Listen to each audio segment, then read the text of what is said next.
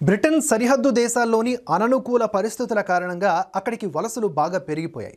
Britain సరిహద్దుల్లో ఎంతో కట్టుదిట్టమైన భద్రతా ఏర్పాట్లు చేస్తున్న చాలామంది వలసదారులు ఫ్రాన్స్ గుండా ఇంగ్లీష్ ఛానల్ మీదుగా అత్యంత ప్రమాదకర పరిస్థితుల్లో చిన్న చిన్న బోట్ల సాయంతో దేశంలోకి వచ్చేస్తున్నారు.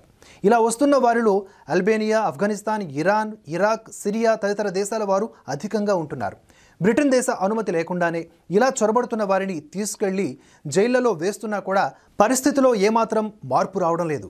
ఒక్క రెండు వేల ఇరవై రెండు సంవత్సరంలోనే నలభై వేల మంది అనధికారికంగా ఇంగ్లీష్ ఛానల్ ద్వారా బ్రిటన్లోకి చొరబడినట్లుగా ఆ దేశ ఇంటెలిజెన్స్ లెక్కించింది.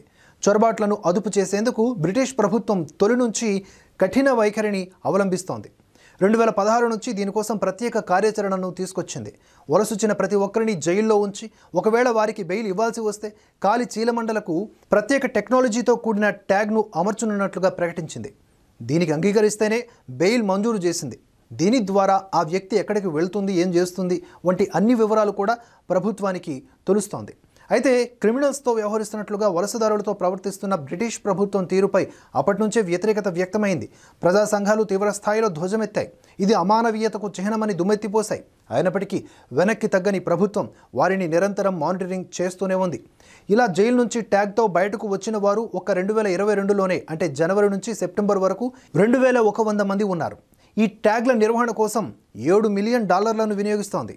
దేశ భద్రతకు పెద్దపీట వేస్తే ఖర్చులు చూస్తారా మరి ఎవరైనా?